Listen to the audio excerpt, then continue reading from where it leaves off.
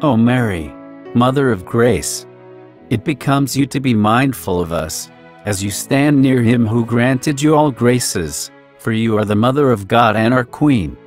Help us for the sake of the King, the Lord God and Master who was born of you. For this reason, you are called full of grace. Remember us, most holy Virgin, and bestow on us gifts from the riches of your graces, Virgin full of graces.